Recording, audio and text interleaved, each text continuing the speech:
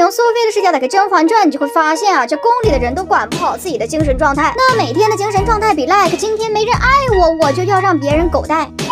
大家好，我是苏北胜啊。这宫里看起来是皇上小主相亲相爱，其实是一年一度宫斗大赛。有一说二，在这个紫禁城里，不仅所有的小主娘娘都在争皇上的爱，就连皇上自己也是久旱盼甘霖。他是四夜想梦寐一场轰轰烈烈的恋爱，咱这皇上先是大年夜不看表演，自己去打野，不知怎么着在倚梅园中跟一个陌生女子对视，还对上了眼。刚对上眼了没两天，又在暴雨中约会。冒雨在杏花树下等一个不知道会不。会未来的女子，这两件事，两个女子一前一后接踵而至。你说咱这皇上怎么能又充满了事业心，又是个十足的恋爱脑？到了晚上，那不仅是折子一波一波的劈，身边的女人还只多不少。我在旁边看着，这感觉怎么说呢？就感觉皇上每次去求神拜佛的时候，求的都是希望我能考博上岸，雅思过关，北京有房，还能找到一个身高一米六五、肤白貌美、长得像纯元，还死心塌地只爱我一个人的大长腿。咱先不说这个愿望的可行性，咱就说这个精神状态，它正常吗？那。佛祖要能开口说话，也得对你当面一顿骂。你也说有没有可能，我只是一个普普通通的菩萨，不是许愿池里的王八？那真是去佛祖家拜年都不敢提这么多要求。该说不说，我打小就跟着皇帝，在这紫禁城也混了几十年了，知道这紫禁城城里人的精神状态也是各有各的古怪。但我真是没想到，有些人这个恩将仇报也是仇报的这么快。那个倚梅园小宫女被我找到，送到皇上面前跟皇上谈恋爱。你说我也不求你如何报答吧？你让我徒弟跪在那剥核桃，剥的满手。是血，跪的还不让起来，这到底是什么魔法失灵了？只要是女子变成了小主娘娘，就得白头到老是吧？我之前看你个倚梅园当宫女的时候，也没有这么嚣张啊！我进来粗粗扫了一下现场的画面，解决方案就已经了然心间。我当时就佯装数落我徒弟，其实说给皇上听。你这个糊涂东西！皇上想骂了，我先替他骂了。净顾着给皇上剥核桃了。皇上他没喊你起床，是因为有人让他跪在这剥核桃，连请皇上起身的时辰都给忘了。啊！瞧你这一手的血，皇上，我徒弟徒手给你剥核桃，剥的一手是血都没有停啊，可忠心了。这会儿怎么当差事啊？皇上，你看他一手是血，暂时也做不了什么差事了，不如让他下去吧。行了，别剥了，下去吧。这事儿刚过去没两天，皇帝的恋爱脑又再次打败了事业心，占领高地。但这回啊，来的不是什么倚梅园小宫女啊，来的是一个会吹箫的大暴雨。咱也不敢说，咱也不敢问。就那两天，皇上不坐轿子，不摆排场，要自己密会家人。见了面之后呢，就把宫里所有会吹箫的，包括十七爷都找了过来，整宿整宿的听。这事儿吧，本来就已经够诡异的，没想到在我探口风的时候，皇上还跟我来了句，他说呀，现在有一个女子吹箫啊，吹的跟吹。圆一样好听，完了，他 barbecue 了，他这又陷入爱河了。那两天吧，我都做好了所有的心理准备去接受他恋爱脑的精神状态。可我是万万没想到啊，他竟然在暴雨天要去御花园看秋千，而且我都跟他说了，我来看过一次了啊，秋千这儿没人。他不相信，非得打着伞过来再看一遍，又来这死出是吧？年年爱人年年变，我就跟着皇帝看看最后到底谁能留在他心里面。但这回吧，跟皇上谈恋爱那个婉贵人还真的有。有点东西，他不仅呢会吹箫下大暴雨，还让六宫粉黛无颜色，让皇上只许他一瓢饮。但这宫里的女子哪个好相与？她刚在皇上那连宠七天，获得了一个快乐黄金周。这丽嫔呢就去太后那告状，说婉贵人专宠多日，也忒不是个东西。该说不说，那天下午我跟皇上见太后的时候，完全不知道这回事儿。那是进到太后的宫里，被太后阴阳怪气的骂了一顿晦气。太后先说，一见十七爷就非常生气，因为十七爷的生母。母淑妃专宠多年，他一想起淑妃就还有怨气。这话就是一边在点皇上，一边在说婉贵人不规矩。该说不说，没当过几十年的太后，她还想不出来这么个遣词造句。皇上听到这里就明白了个大概，还想调和婉贵人跟太后的关系，让婉贵人过来让太后瞧瞧。可太后却不想见婉贵人，借口说婉贵人位分低。这天聊的岂不是话不投机半句多？后来皇上也没说什么，请个安就走了。刚出了门口，没有一时三刻，皇上就直接问了。皇上再问是不是华妃想太后打的小报告？不是华妃娘娘打的小报告，也不是皇后娘娘打的小报告。那找到人了，是丽嫔打的小报告，还跟太后说了不少婉贵人的黑料。我得同时跟皇帝拿小本本记下来，拉黑丽嫔。哎，咱们这个皇上对这个婉贵人还真的不一般。可在婉贵人宫里，我却发现了，自打她进宫，我见她第一面就喜欢她的那个宫女。哎，我忘了，现在是新帝登基，她也已不再是小宫女，她是锦汐姑姑，是我一直放在心底的秘密。当你用苏培盛的视角打开《甄嬛传》，那真是笑得越真，杀得越狠。这视角一转，剧就变成了反派男主卧薪尝胆，谁若惹我，我判他死缓。大家好，我是苏培盛，我是这紫禁城里最下等的奴才，但心里也存着在意的人和真爱。从业三十余年，没人能在我的话里找到破绽，就连皇帝我也能玩的团团转。但有个唱小曲儿的，却总是看不明白，他非要给我对着干。这事儿吧，还得从那个长得像纯元的说起。本来选秀那天，我知道有个女子长得像纯元，我就约摸着宫里要起一波腥风血雨、刀斧漫天。可我是万万没想到，这女子进宫后半年没成宠，又让皇帝发现她吹的也像纯元。他呢，不仅跟皇上在御花园来了一波回忆杀，还跟皇上一边吹箫一边说悄悄话。那你可真是把纯元的红蓝 buff 踩在脚底下。我看也别封为晚贵人了，直接叫真 buff 实名开挂。本来事情到这儿，实属也没什么好惊讶，无非就是你爱我来，我爱他。这种小剧场，我从业三十余年也看的太多，无关痛痒就随皇上的便吧。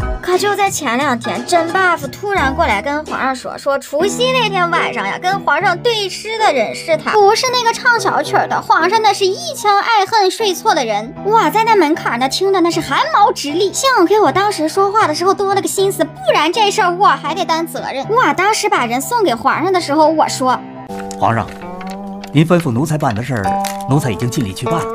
但是，但是后面的话我就没有说出口。咱先来个负荆请罪，皇上您喜欢玩的感情游戏，我琢磨不透。若真要责怪奴才，也请先喝口茶吧。注意啊，咱从头到尾都没说过这个女子是谁，是皇上自己喝茶的时候又跟他对了诗，又跟他说了话，是皇上自己觉得她是除夕夜的女子，我可没有说啥。但这女子拿着假彩票兑奖，还让皇帝睡错了人，这事儿皇上能忍吗？皇上肯定不能忍呀，整个就是一雷霆大怒。那从来都是他白嫖别人，这是他第一次被别人白嫖了，他受得了吗？直接就把那唱小曲的给赐自尽了。这事儿从开始到结束，整个过程。我都站在门槛儿呢听着呢。这整个故事告诉我们一个什么道理？告诉我们白嫖需谨慎，不是告诉我们我们复仇的时间到了。这唱小曲儿的一开始就职业歧视，不把我们当人看，还糟践我徒弟。今天更是玩了个冒名顶替。我要不是那天找他来侍奉皇上的时候，我多了个心思，我现在就得跟他一起死。你敢在皇上面前把俄罗斯套娃成为替身纯元替身的替身是吧？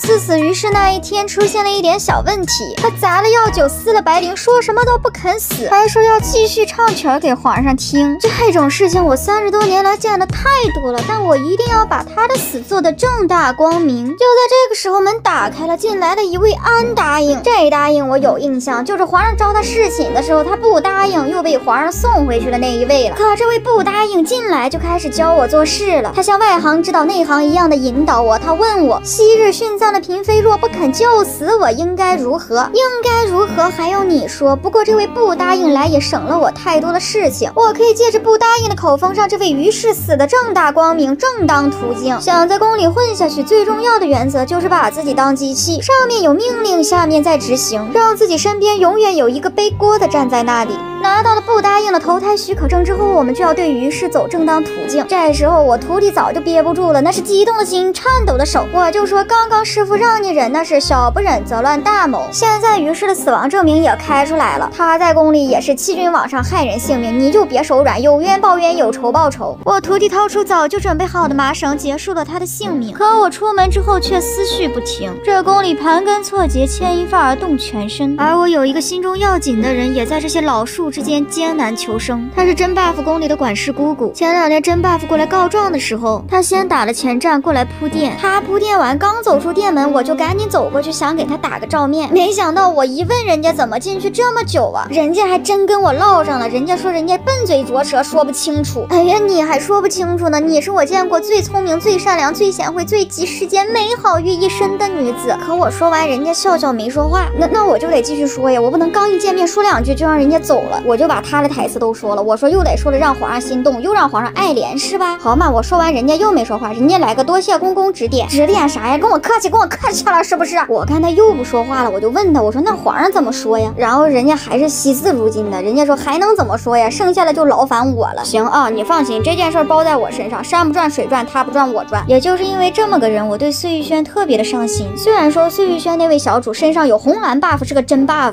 但该提点的事情还是得让他知道。感受到了危险就得给他发信号。于是我就让小夏子去了趟碎玉轩，就在那天晚上，让他完完整整、仔仔细细的给那些小主还有我的锦溪讲一遍，那位跟他们走得近的不答应，下午去冷宫到底做了什么，又是怎么的结束了这一切。放心，是啊，可不是小主让安大爷来吗？还是安大爷说左右是个死，才让奴才累死算完。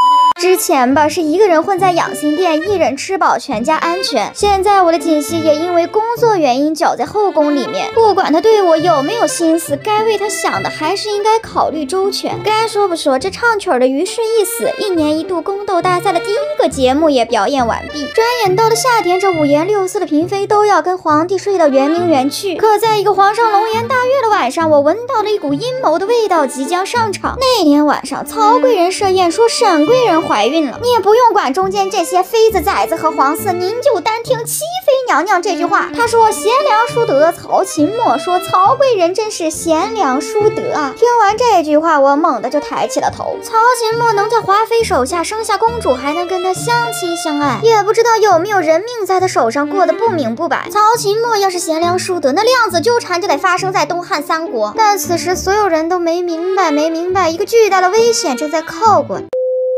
用苏培盛视角打开《甄嬛传》，那真是能不能都别送了啊！搁这葫芦娃救爷爷呢。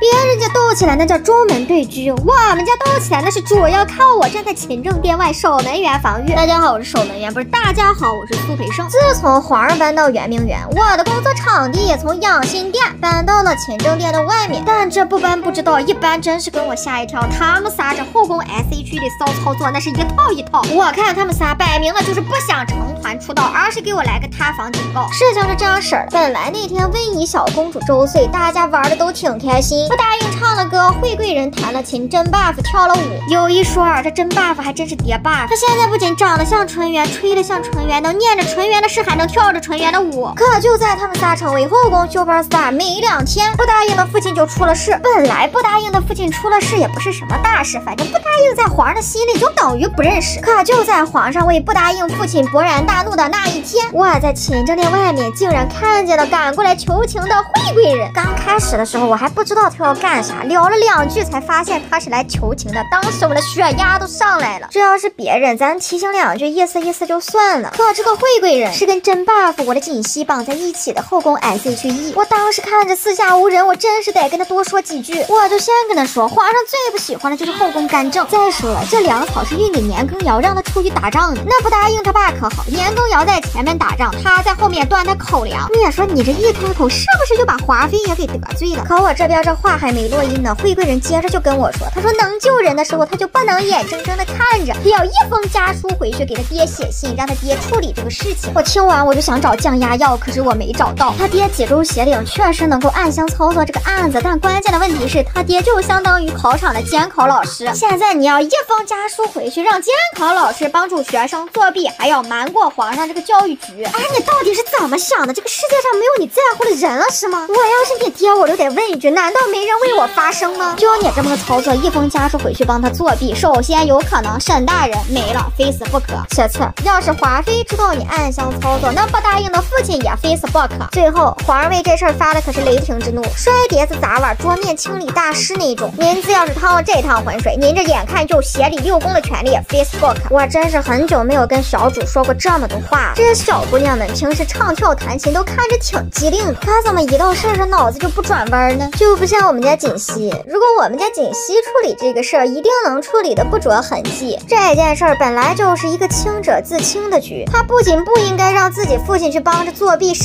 至应该去撇清关系，秉公处理。不过好在惠贵人是一个听劝的闺女，站那劝了半天，是终于给她就劝了回去。可这件事儿刚消停没两天，惠贵人因为假孕争宠的事情降维的答应。就在这个时候，我又在勤政殿门口见到了前来求情的真爸，而且还还是那种。怎么劝都劝不走，非要在门口等着的那一种，我就又开始了，是不是？这里是勤政殿，里面全是高压线，你们能不能想清楚再过来跟皇上见面？而且这次的环境有些复杂，勤政殿外面是我和甄爸，勤政殿里面是华妃、曹贵人、皇上和温宜小公主。那里面现在的画面就是曹贵人抱着小公主在逗皇上开心，华妃念着年羹尧从西北寄过来的信。像这种情况，我就不能像上次那样站在大门口一点一点的给他分析利弊，我就只能拐弯抹角的说，但求他能听得进去。我先说，西北战事正吃紧，皇上重用年羹尧，连带着华妃在宫里的地位也是水涨船高。皇上这两日除了上朝，就是躲在勤政殿里面，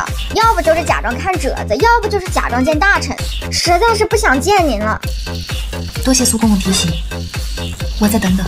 来完了 QQ 了，我感觉他没有听懂。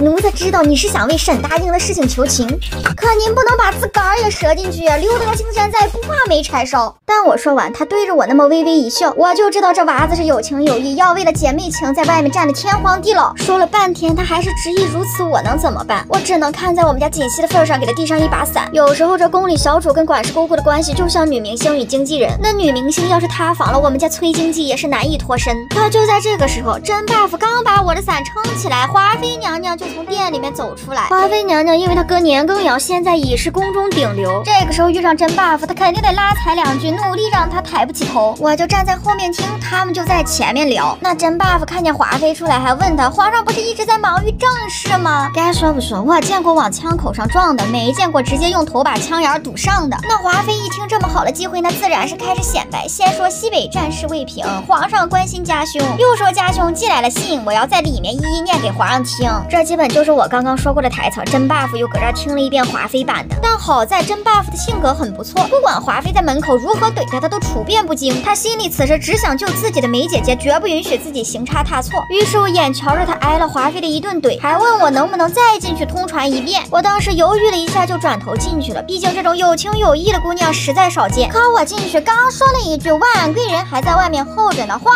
上还没有说话，那个曹琴墨就在旁边扇阴风点鬼火，说什么皇上快让婉贵人进来吧，他挂心着沈答应，不拉不拉，又说婉贵人若有什么不是，沈答应也不能放心，更不能安心进足思过了，不拉不拉不拉。这几句话此时此刻在皇帝耳朵里面就等于沈答应沈答应沈答应进足思过，不拉不拉不拉。这曹琴墨什么时候能像他的琴艺一样是个哑巴？可是没办法，皇上当时就已经听恼了，他根本就不接我的话，继续让曹琴墨给公主唱儿歌。一般这个时候就代表皇上想静静，他什么都不想说。说得了这个信号，我就赶快出门给甄 buff 说。我这回再说的时候就没有用什么隐喻、比喻、长难句，我就直接说。皇上这会儿不愿意听你说，也不想想沈答应的事情，咱这边呢就真诚建议您先回宫去。你要是一直在这杵着，就是跟皇上过不去。这次我说的很明白，甄 buff 看了这么个情况，也是一个听劝的姑娘。说完之后，人家小姑娘给我道了一声谢就走了。她走了之后，我在后面打眼瞧着。前两天这仨姐妹还是后宫的 SHE，现在三个里面塌房了一个沈眉庄，不答应也没什么人气，只剩这么一个真 buff 还屹立在这里，恐怕这姑娘以后的日子也是腥风血雨。当你用苏培盛的视角打开《甄嬛传》，你就会发现，有仇他是真报，有刀他是真补，他是杀人不见血，枕边风一起。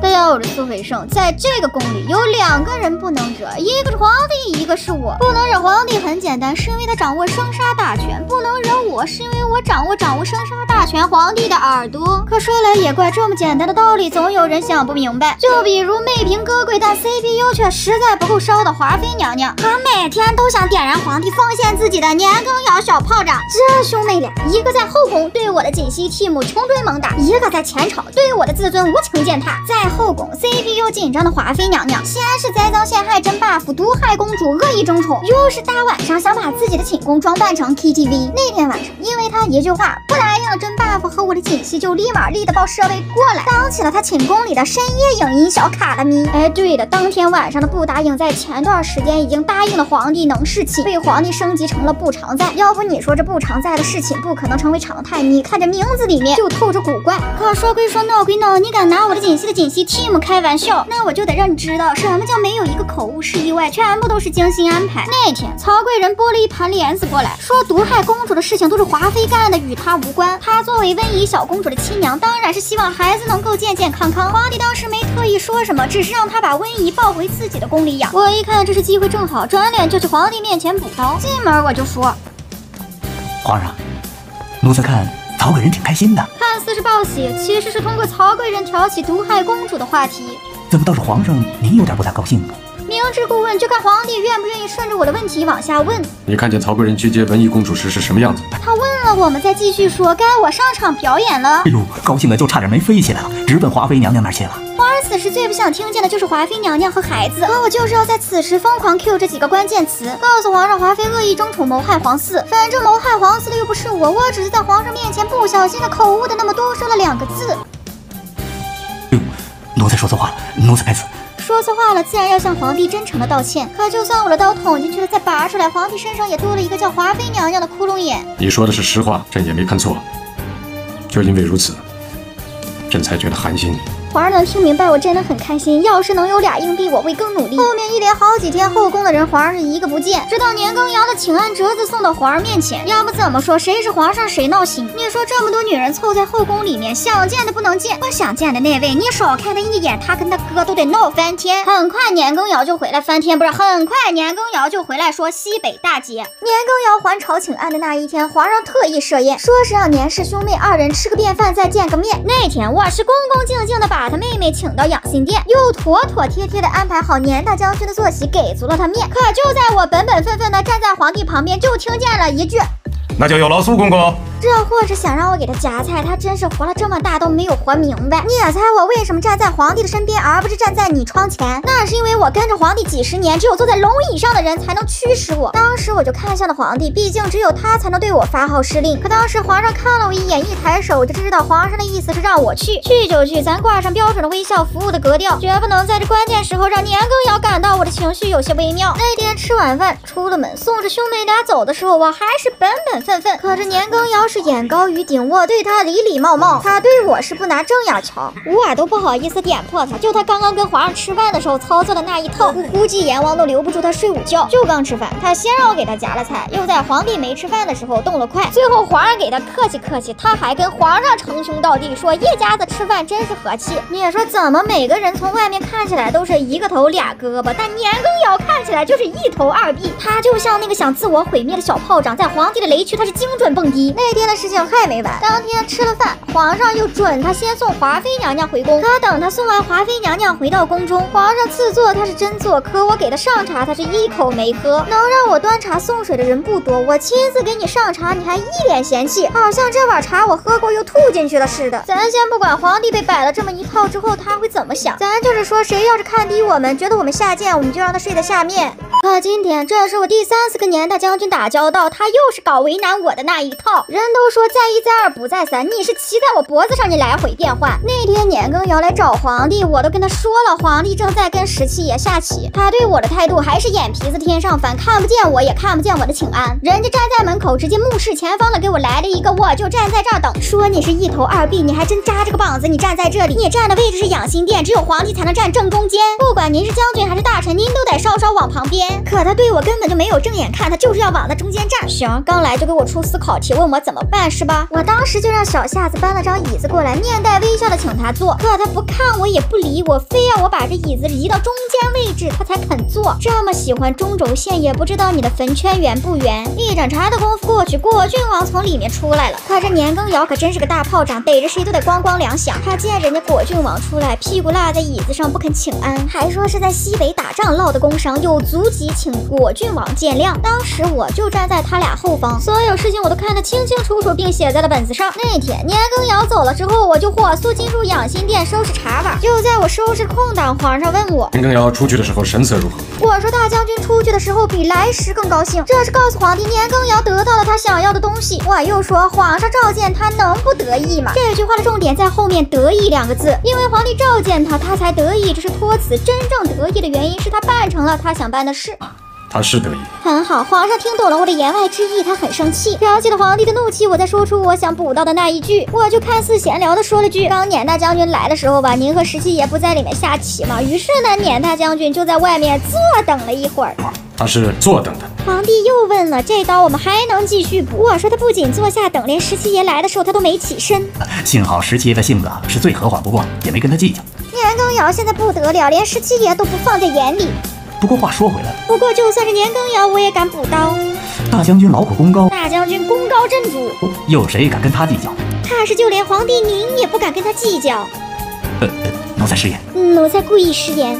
你是实话，未必是实言。那是我的口误都是技术，能让你在我的话里找到破绽，那我还怎么在这宫里吃这碗饭？用苏培盛视角打开《甄嬛传》，那真是在这个宫里，只有我是最懂皇帝的人，其他人都是清澈俺的愚蠢。大家好，我是苏培盛啊。那真有些姑娘永远都闹不明白皇帝到底是怎么想的，想在这个宫里活着，却不知道皇帝是怎么想的，那就像没拿魔杖单挑伏地魔，你是好吃好喝，你不想活。毕竟解析别人一句话只需要一个脑袋，但你解析皇帝一句话，你吸不好，他摘你脑袋。那天真 buff 抓了刘本要治华妃的罪，那是人证物证挺齐全，只差皇帝一句话就能贬华妃下三十三重天。可真 buff 呀，他是只顾着自己的姐妹情和着急忙慌的去计算谁是谁非，他根本就没有顾虑到皇帝此时的心情，以及皇帝到底想不想治华妃的罪。也就是那天，我是站在门口，突然被喊进去，进去的一瞬间，我就开始疯狂解析皇帝到底想怎么做，上来就赐死俩太医，皇上确实很生气。华妃。褫夺封号，降为贵人。可皇上说完这一句，有很长时间都没有回消息。这非静止的画面，站在我的对面，就是皇上在思考要不要成为华妃的对立面。慢着，褫夺封号。降为嫔。好了，皇帝思考完毕，答案就是他很生气，但不多。反正不管出于什么缘由，怎么说，他此时此刻并不想狠狠处罚华妃，让我们自己掂量掂量该怎么做。这点事儿我还能给您办不妥？我当时就给皇帝铺了个台阶，我就说，我说皇上呀，褫夺封号已是极大的羞辱，那远甚于降威的处分。这句话呢，就是给华妃求情。那毕竟这个养心殿里，此时能给华妃求情的只有我，你总不能希望地上跪着的那位原告站起来说。说完之后吧，我还接了句，我说皇上您这么动气势，但皇上根本就没有听我在说。什么也不想提起华妃的过错，皇上是顾左右而言他，岔开话题的跟我说：“先去咸福宫，说朕负了沈贵人的位分。”我寻思着，我刚刚也没提到沈贵人，更没提到沈贵人的位分。你看皇上逼的都开始战术逃避了，你给他提处分，他给你提位分。皇上这句话就已经说的很明白了，沈贵人的位分是要恢复的，那华妃的位分也是要保住的。你看皇上性格，啥都要，还都要两手抓，这都是之前让我给惯的，可我又能怎么办呢？现在真 buff 跪在这要说法，皇帝说什么也不能不处罚，那我只能现场给他修人工台阶，让他往下下。皇上你注意啊，对于华妃娘娘要降位的事儿，老奴要开始编了。若要让内务府再传旨，只怕河宫都会惊动。皇上，我台阶都给你铺好了，咱咱就是说啊，传圣旨这件事是考功啊，九五五，早晨九点到晚上五点可以传，五点之后夜深了就就就不能传了。就我突然想出来这么一个规定，皇皇上你懂我意思吧？那就明日传旨。得嘞，皇上懂我的意思了，我们俩这配合没得说。可默了一会儿，皇上又说：“先不要走漏了风声闹起来。”这这这咋还透齐呢？皇上又拖延时间，说明天再传圣旨，又跟我说不要走漏风声，免得闹起来。其实就是让我去走漏风声，让华妃娘娘闹起来。那别人的工作是翻译，看看主子有没有话里有话。哇这工作快整成破译了，里面藏了个摩斯密码，这里面咋能还有地下任务呢？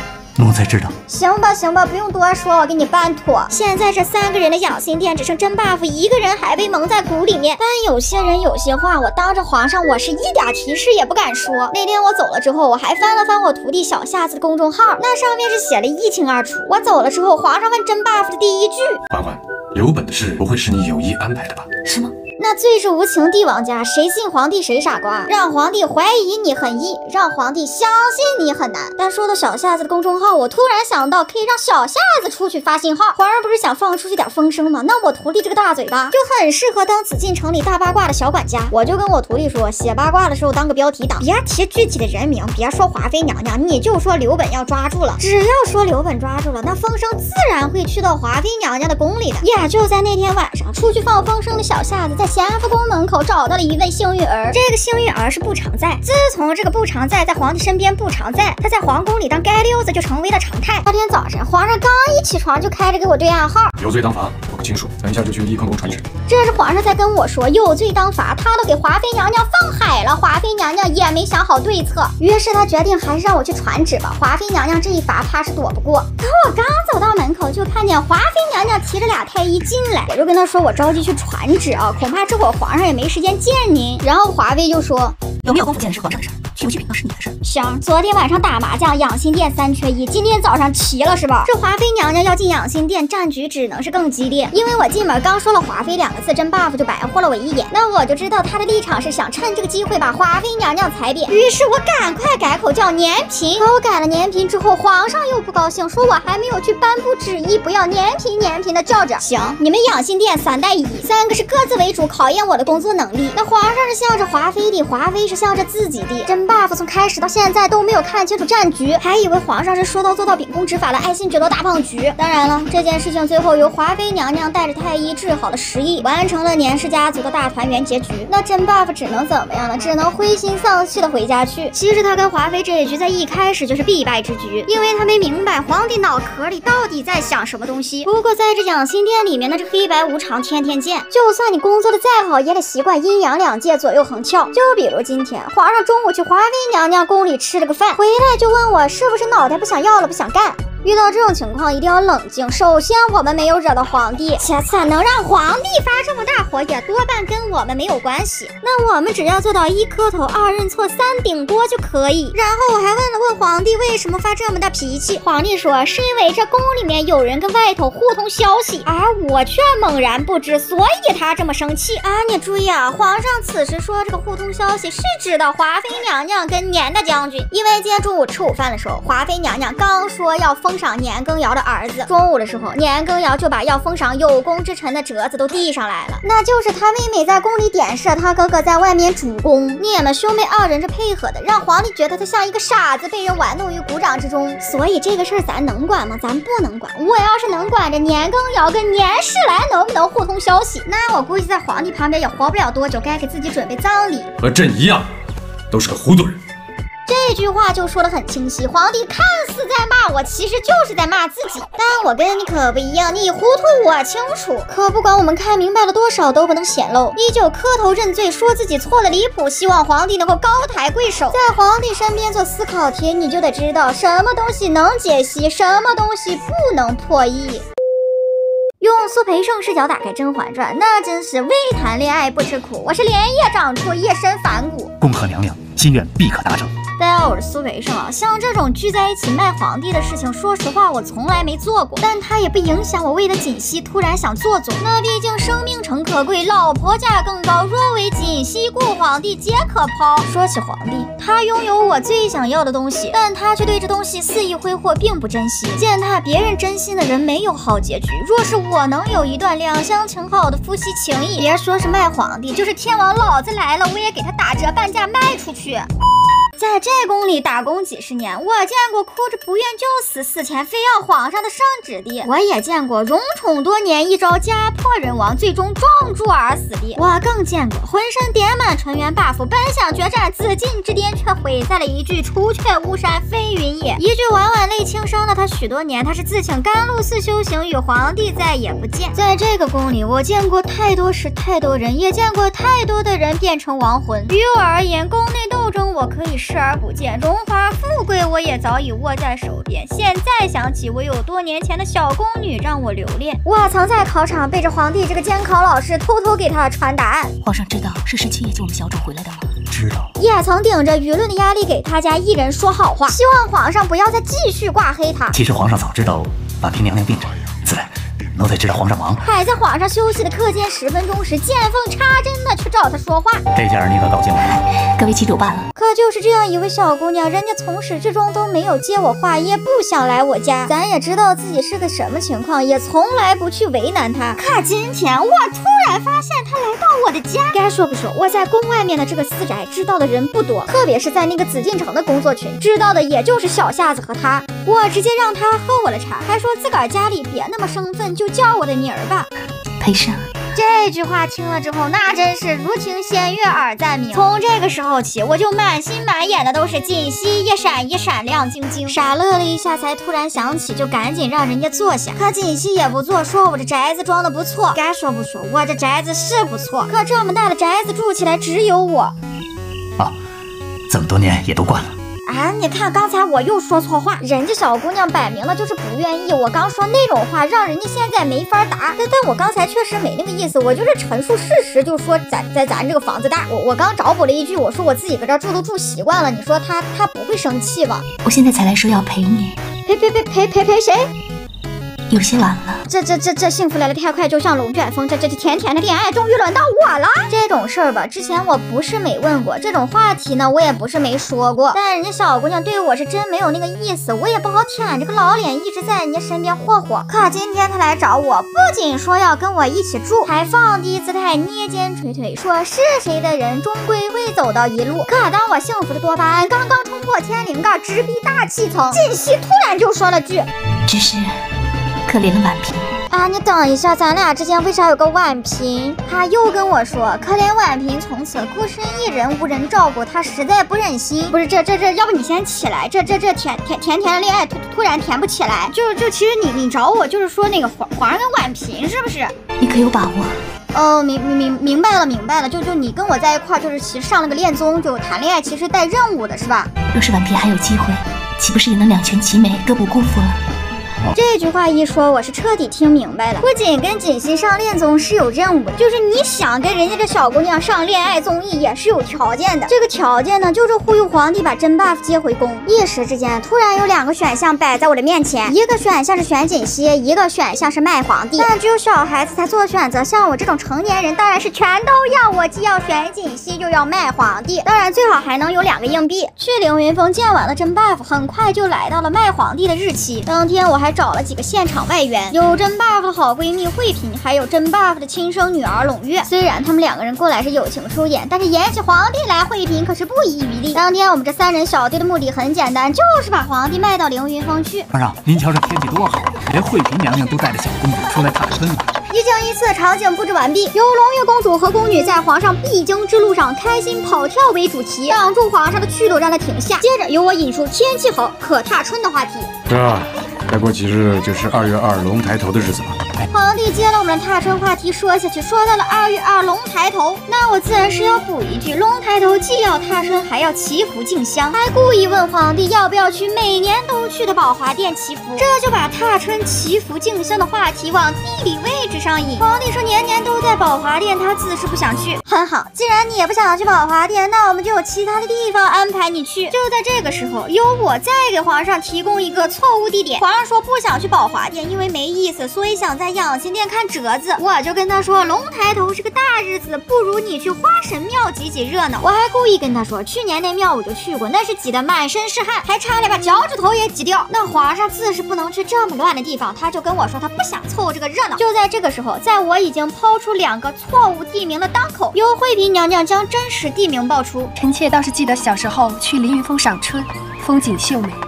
再去甘露寺烧香祈福。可皇上一听甘露寺，就像被人踩到了尾巴根儿，哇，就赶快给他铺台阶，拖住他的面子。那理由我都给他想充足了。我先说，我知道甘露寺有您不想见的人，咱就是去上香，绝对不去见他。第二，咱去上香也是为了太后娘娘的病情，皇上亲自为太后烧香祈福，更能显得皇上的孝心感天动地，也更有诚意。最后我再给皇上挖个坑，我说你看要时间早，咱们再去凌云峰踏春去，反正不会见甘露寺那个人。我为什么这样说呢？因为。此时此刻，那个人就在凌云峰。皇上，对不住了，我为了我甜甜的恋爱和即将要开始录制的恋综，我必须得遵守跟锦溪的约定，把你卖到凌云峰。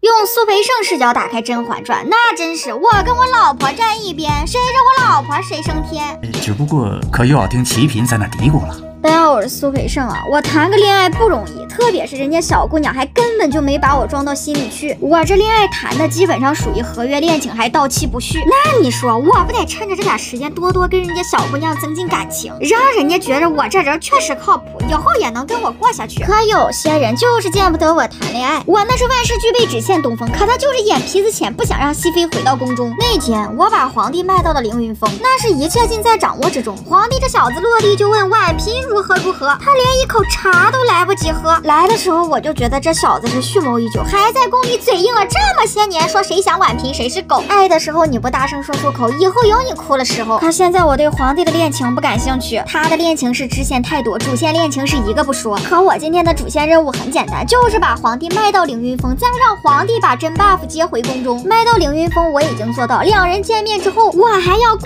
意口误试探一下皇上对这个真 buff 他到底是想不想要。怎么会知道莫愁师太？婉嫔还病着呢。我试探的提了一下婉嫔的封号，但皇上并没有纠正我，而是直接转移话题去关心真 buff 的病情以及在寺院过得好不好。这说明皇帝就是一个口是心非的小傲娇，他对这个婉嫔也是很想要。这一个口误试探出两下皆是有情的，剩下的事情我就放心了。但我是万万没想到他俩和好的速度这么快，那是拉着进度条直接跳。他俩和好之后，我本来还想跟着进屋伺候，关门的时候还是锦溪提醒我让我在外面守。要不你说我们家锦溪冰雪聪明，情志双高，那一身那是集世间所有美好。这一个动作我就知道接下来即将发生什么，谁都不能说出口。站在门口，我还特意提醒小夏子，今儿这事情谁说出去谁得死。我这徒弟看着很一般，但他中意中玩的非常转，大多数时候他都能正确翻译我的题干。可就在我完成了主线任务，也完成了支线任务，连真 buff 的爸爸我都吹了枕边风，让皇上安排真 buff 的爸爸从宁古塔接回京中。可就在这个时候，皇后突然跳出来作妖，她是一会儿去上香香上断了，一会儿搁御花园走路又崴到脚，那是整天在宫里释放那个不祥信号，就差把我不想婉嫔回宫写在脸上，一个劲儿在宫里闹。但皇后能在宫里反应这么大，八成就是知道了真 buff 怀孕了。真 buff 怀孕这个事儿是她偷偷跟我说的，我又偷偷告诉了皇上，皇上又偷偷安排了温太医安胎。看来呀，虽然我们这群人都在偷偷安排，但皇后想知道什么，她还是能够查出来。但你说，皇上这个老旧机器突然有了这个工作效率，有有了这个孩子，对真 buff 来说，那就是皇上送给他的一个回宫加速器。但这加速器还没工作两天，皇后是崴脚断枪，卧床带伤，太后那边也是寿康宫着火，让人心慌。就在这个时候，那个爱唱歌的突然说了句：“现在宫里这么不吉利，不如请钦天监过来看看，看看宫里是不是有什么东西。有什么东西我不知道，但你是真的狗，钦天监也不是人。那老小子进来就说什么微月宴冲月，还说什么。”而其尾带小星，更指北方高处女子有孕。那你直接报甄嬛身份证得了呗！我在旁边听着，只觉得我第一次想谈个恋爱，你就给我设置这么多障碍。那皇上听完钦天监的胡说八道之后，直接跟我说暂缓真 buff 回宫。真 buff 这回要是不能回宫，那我跟锦汐的恋情估计也是转瞬成空。在这种时候，先要两个硬币，不能坐以待毙。虽然现在真 buff 还不在宫里，但我们得帮他收集情报，再传递消息，绝不能让皇后那个老匹夫占尽先机。于是我赶快把钦天监从中作梗的消息传给锦溪。苏培盛传来消息说，皇上顾忌魏月宴冲月的天象，一时怕不能接娘娘回宫了。很快，锦溪也告诉我，让我去找宫里真 buff 的闺蜜。要说起惠嫔娘娘，这人确实不错，上次还跟我友情出演，一起卖皇帝。这段时间我是任劳任怨，两头送信，就像一个情报发射机。也终是皇天不负有心人，让我等到了皇上册封真 buff 回宫的消息。从册封旨意就可以看出，皇帝精神状态正常，但不多。他是给真 buff 抬旗送皇子改年龄。如果说皇帝之前对真 buff 的宠爱是因为有纯元的 buff 在，那真 buff 现在的状态可以说是我不嫁豪门，我就是豪豪门；我不像纯元，我就是纯元。终日叠加 buff，最终成了 buff。皇帝给真 buff 册封为熹妃之后，他已经成为了不用再叠加纯元 buff 也能宠冠六宫的所在。可有些人就是见不得别人好。熹妃回宫之后，我刚跟锦溪过了两天安生日子，这感情刚开始培养，还没有培养上来，我们家锦溪的熹妃娘娘就被青苔鹅卵石划了脚，差点从轿子上摔下来。该说不说，从某种意义上来说，现在的熹妃娘娘约等于我丈母娘，因为锦溪是熹妃娘娘宫里的人，熹妃娘娘不点头，谁来成全我跟锦溪的夫妻一场？行哦，现在人都挺张狂，还敢动我丈母娘？我转脸就把皇后窝里内斗的事情说给锦汐听。苏培盛说，姬嫔和安嫔现如今都是皇后身边的人，不过二人一直面和心不和。现在皇后窝里有两名得力干将，一个没头脑的齐嫔，一个不高兴的安陵容。这两人虽然不足为惧，但他要是惹我们，我们就让他销声匿迹。今儿个收到锦汐的消息，说动手之日就在今天，让我把枕边风吹上天。那自是一开始在养心殿我就开始铺垫。皇上，您喝碗莲子汤吧。曹贵人说莲子通莲子，皇上你好好想想，谁在给你怀孩子？熹妃可好些了吗？哎好了，话题打开，只要皇帝提到熹妃，我就有把握让他往熹妃的宫里来。不多时，我按照约定将皇帝带到熹妃的宫里。锦汐出门奉茶的时候，还特意看了我一眼，这一眼我就知道他对我今天的表现很满意。老婆满意，我就得继续做，该是我表演的时刻。于是我就特意提起，我说那个今天那个敬事房皇上还没翻牌子呢。敬事房的人刚才来问，今晚是否还要翻牌子？这个时候我拿到的剧本就是皇上要留宿，我丈母娘不让。当熹妃娘娘让皇上去其他宫里住，这个时候就该我上场。果然，熹妃娘娘跟本子上演的一模一样。当皇上说要宁嫔侍寝的时候，我就出来说了。只不过经过储秀宫的时候，可又要听齐嫔在那嘀咕了。好久没吹过这么多枕边风，果然把皇帝吹得很头痛。我和熹妃娘娘在这一人一句给齐嫔拱火，让皇上对齐嫔的不耐烦越来越多。就在这个时候，我听锦汐说过，他们那边还有一个分会场，是新贵人和佩儿的组合，在这个时候也一定会激得齐嫔过来请皇帝过去坐坐。果然不出一时三刻，我徒弟小夏子就进来说，说齐嫔身子有些不痛快，想请皇帝过去坐。皇帝心中本就存着我们刚拱的火，小夏子这么一说，皇上更不愿意去了。可这个时候我。我们必须让皇上去，因为储秀宫正在上演一场大戏。对喽，齐嫔这个状态非常棒，看来新贵人也已经 hold 住了分会场。现在整个场子里都是我们的人，就这么一幅世界名画，全部都是 NPC，只有皇帝和齐嫔两个玩家。我们进来之后，新贵人的台词也很专业，一看就是昨天晚上对着稿子念了很多遍。他先说齐嫔责打了宫女，以前伺候过熹妃娘娘，这就是把仇恨拉到皇帝身上。若因宫女犯事，你责打一个宫女不要紧，但你无端去责打一个朕很宠幸的女人的宫女，嘴里还骂骂咧咧，暗怼永寿宫，那你。就就是不满皇上对熹妃娘娘的宠爱，后宫因妒生恨是大忌。齐嫔一张嘴也解释不过来。此时新贵人在根据演好的走位向皇上展示宫女的伤痕，全方位三百六十度无死角向皇上展示齐嫔这个一宫主位无德无能。精心布了这么大一个局，那天的结果自然是齐嫔降为贵人，闭门思过五指不得出宫。可皇后身上的爪牙一共有两个，一个没头脑，一个不高兴。现在没头脑已经被嘎了，还剩一个不高兴在外面逍遥快活。那天正好又遇上今天天剑过来汇报工作，但钦天监的正式抱样只剩一个副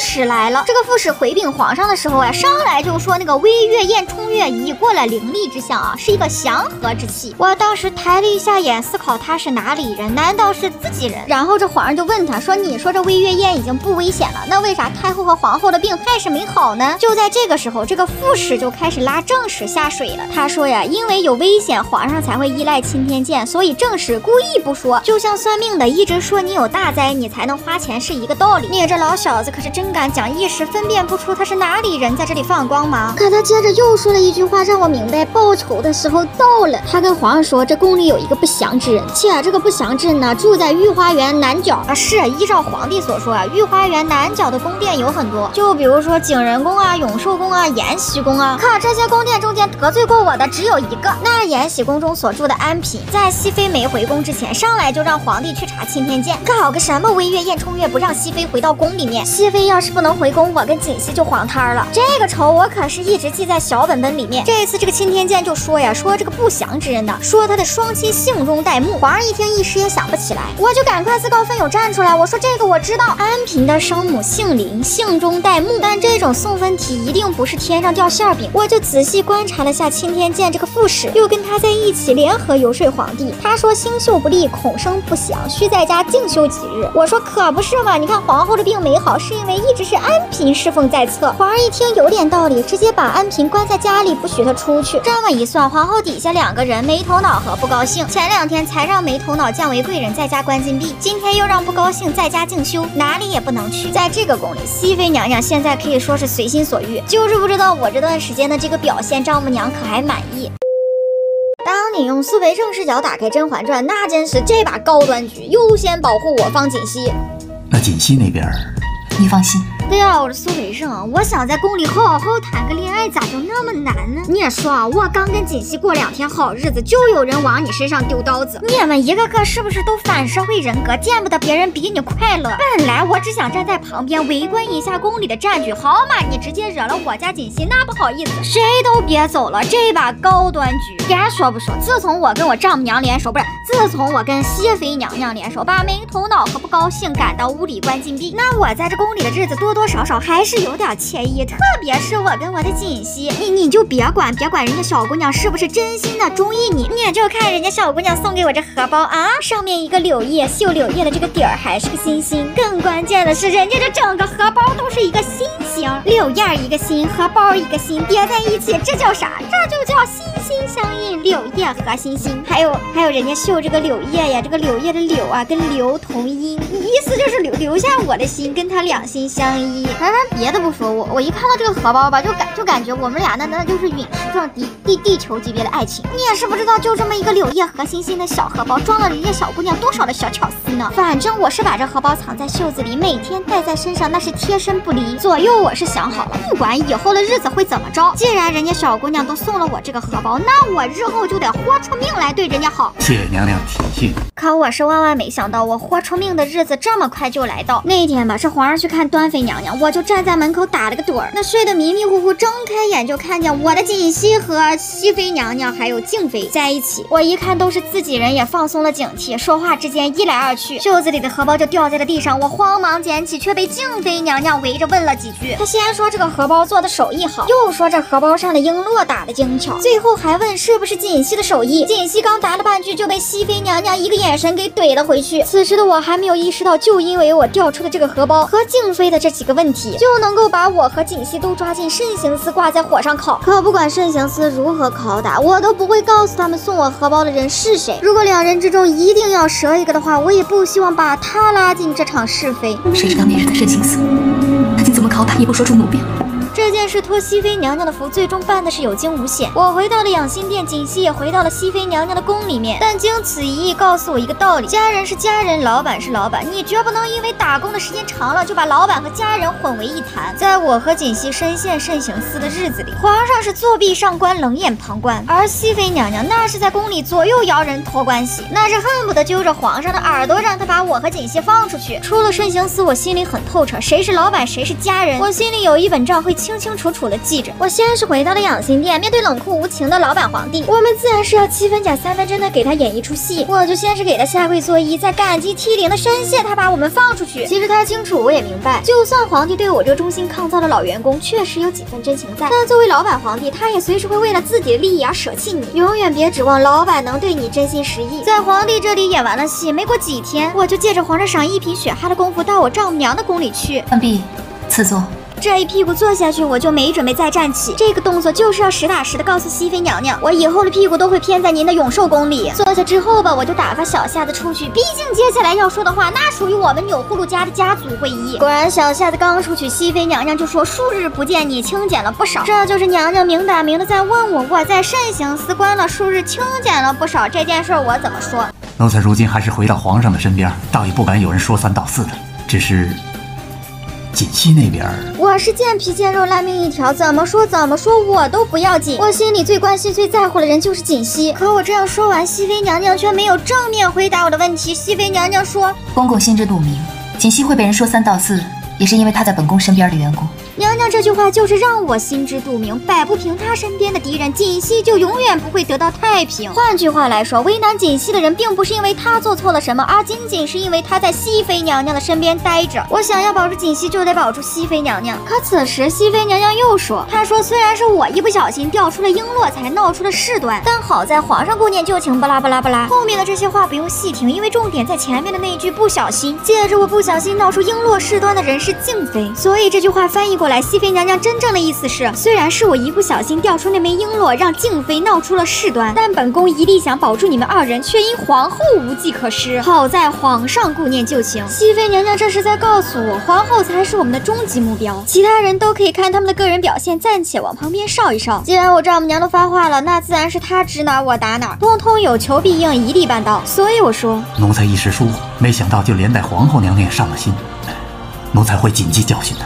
你放心，这个仇你女婿我记下了，以后我也是攻打皇后的甄家军。从今天起，不要叫我苏培盛，要叫我钮祜禄培盛。那但咱说归说，闹归闹，就算让我改名换姓也不重要。就就锦溪，那锦溪那边，我我刚进来的时候吧，您就岔开了话题。现在你对锦溪的跟我们这个态度，我还不知道。于是吧，我就又提了起来。那锦溪那边，你放心。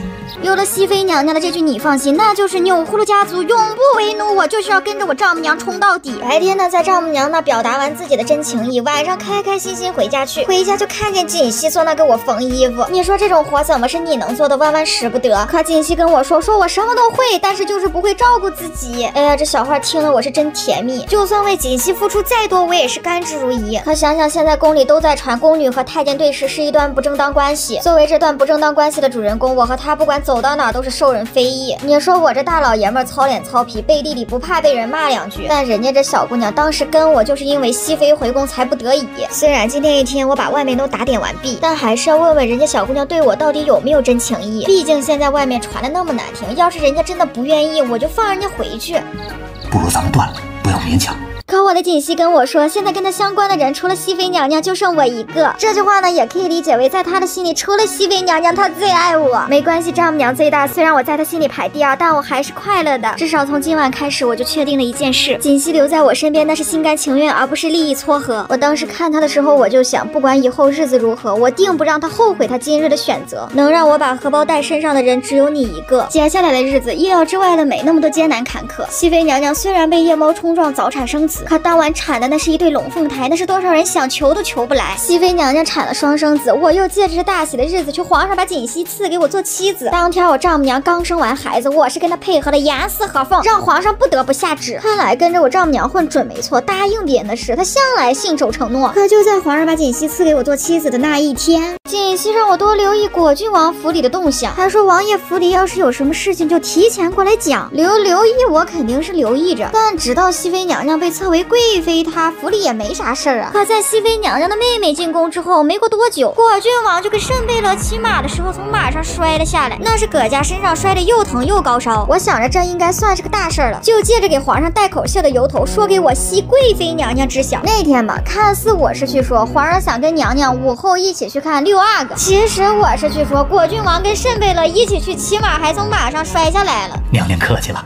哎，毕姑娘不在。哎，我这个切换是不是特别丝滑？不像是特意安排。幸好，否则他听了可要心疼了。娘娘，您坐稳了，我这边高能预警给你，这不是一个好消息。谁知道昨儿午后跟慎贝勒去骑马，那马发了性，把王爷给摔了下来。来宁宫里站了半天，说了一起子话，终于说到我想说的重点了。哎，奴才得赶紧去回禀太后一声，也好叫太后安心呢。先给自己找好借口，这不是说给你听的，这本来是要说给太后听的。怎么没人来告诉本宫一声呢？王府之事自有皇后娘娘打理呢。再给你找好借口，这件事情自有皇后娘娘打理，你不要着急，你不要插手。要是您让皇后娘娘看出你跟十七爷不一般，那皇后娘娘还不把我们给连窝端？娘娘得回六宫，自然也关心王府的事。丈母娘，你放心，你再心虚，我都能给你圆过去。就算娘娘自个儿不上心，也得为了毕姑娘过问一二嘛。就算事情实在圆不过去，也可以拉阿绿姑娘出来垫底。那天把消息送到了，我就走。直到阿绿姑娘过来跟我说，她想守着王府住一宿，去就去呗，反正这里面的爱恨情仇看得让人发愁。但谁知道都没关系，绝不能让皇后娘娘发现这里面有猫腻。送了阿绿姑娘到王府，锦汐专门过来交代了，有什么事情给她打招呼。这么多人都在关心果郡王，一时之间我有点迷茫。但真有了消息，还是得说，不然我老婆该不高兴了。苏培盛今儿来说，王爷的体热退了。当你用苏培盛视角打开《甄嬛传》，那真是真相不重要，我就喜欢一报还一报。呸！大家好，我是苏培盛啊。前两天果郡王坠马，熹妃娘娘和浣碧姑娘一起着急，我就在猜这几个人之间是不是有什么不可告人的关系。今天祺贵人告发温太医，说温太医跟熹贵妃娘娘在甘露寺就做了夫妻，那真是 W H A T 问号。这一来一去，是三个人的游戏突然变成了四个人的悬疑。现在场上的人物是皇上、果郡王、熹妃娘娘和温太医，咱就先不提这中间夹杂着孩子、侄子和浣碧，咱就光。光说就这几个人凑在一起，不管能播的不能播的，都能凑出无数种关系。我丈母娘搁那听的是正经危坐，我在那站着吓的是花容失色。要不怎么说熹妃娘娘能成为我丈母娘，那她现在在这宫里，那就是她的草原，她的马，她想咋耍就咋耍。反正这场面瞧着也只能先按兵不动。我是站在那默默吃瓜，连嗑瓜子也不敢嗑出声。可我是万万没想到，我就站在那吃个瓜，还能吃瓜吃到自己家。那堂上正说着六阿哥是不是皇上亲生的？亲。祺贵人突然就要抓我的锦溪，还要把我的锦溪送到慎刑司里，必须受够七十二道刑罚才能够放出去。我就管家是这个齐老六，我劝你别太荒谬。你们几个在窝里想怎么斗就怎么斗，但牺牲我们家锦溪，我跟你说这事儿不能够。当时我就站出来，我插了嘴，要把慎刑司七十二道刑罚都受遍了，不死也成了残废了。即便是还人清白，又有何用呢？说这话的时候，我特意看向了皇帝，因为这句话看似是反驳齐老六，其实就是说给皇上听，就是要告诉皇上，这人呢，真要是把七十二道刑法都受遍了，关于清白不清白这事儿，那就是再也说不清了。所以皇上您英明神武，您得明白，齐老六这招不是屈打成招，这就是杀人灭口。老奴话已至此，您得看透这点小计谋。可就在皇上没说什么，熹妃娘娘要扶起我家锦汐的时候，那个除了在唱歌就是在不高兴的安陵容，她跳出来来给熹妃娘娘说：“说为了证明你的清白，你不仅得打锦汐，还得打浣碧。还说这两天没看见浣碧，问浣碧在哪里。倘若他们不受刑的话，只怕姐姐也为难。纵使心疼，也只能先忍一忍。他是非要把浣碧和我的锦旗一起送到慎刑司里，那我算是看出来了。现在就是齐老六在前面告发，安陵容在后面拱火，皇后骑着他这一对没头脑和不高兴，坐在中间见风使舵。行啊，换句话来说，也就是在场的所有人，除了皇帝，没人真的关心真相是什么，也没人关心孩子到底是谁的。大家的心态大多都是谁绿了谁无所地位，只关心我家阵营里的输出还能不能继续 carry。既然如此，咱们在这儿齐聚一堂，开始输出。那我为了我们。家锦汐也得开始突突突，他们要找浣碧，我就说浣碧去伺候了果郡王去。你们要是为了抓奸夫强行把他换回，那这件事要闹得人尽皆知，皇上的面子岂不是过不去？只怕会惊动了王爷和各位宗亲，此事尚未定论。不宜外扬啊！他们要开始滴血验亲，验了之后发现六阿哥是温太医亲生的。当时我的大脑腹直肌，虽然有一时的懵逼，但是我坚信不管怎么乱，只要保住熹贵妃娘娘，那就还有转圜的余地。毕竟之前熹妃娘娘跟我说，保住她就是保住锦汐。可就在这时，熹妃娘娘扎破了我的手指，进而发现了这碗水有问题，谁的血滴进去都能够变父子。此话一出，一时之间在场所有人鸦雀无声。我看着皇上小脸吓得通黄，再看看他严肃又紧张的脸庞。我这会儿得赶紧说句话，缓和一下气氛，逗逗他，顺便再告诉皇帝，这是一个非常离谱的局。锦汐跟温太医不可能是我的孩子，这碗水就是有问题。温太医与锦汐怎么可能是奴才的孩子？朕知道。你看着皇帝这会儿哈哈笑，但有人敢在他眼皮子底下动手脚，这人的胆子可不小。我缓和了气氛之后，在场的所有人又车轱辘话的开始说，都知道这碗滴血验亲的水是皇后准备的，但他们吵来吵去也没啥结果。你说这么大的罪名，那皇后能随便认吗？但关键我当时看了一下流程卡，现在的主要问题是得证明六阿哥是皇上亲生的。我第一次在皇上没有授意的前提下，主动出去换了碗干净的水。咱咱就是说，哥几个先别吵了，先把流程给走上，弄明白六。六阿哥到底是谁的？现在只要证明六阿哥是皇帝生的，那我们这锦汐就安全了。而且当时吧，说出去换了碗干净的水，那就是去换了碗干净的水。因为在这碗干净的水里，让六阿哥跟温太医滴血验亲这件事儿，是熹贵妃娘娘我丈母娘自己提出来的。那我丈母娘自己给自己出题，她还会自己给自己出一个死局。所以我当时就非常放心的，真的换了一碗干净的水，就按我丈母娘的思路走，一定没问题。皇上，奴才去换了一碗干净的水。这碗水绝对没有问题。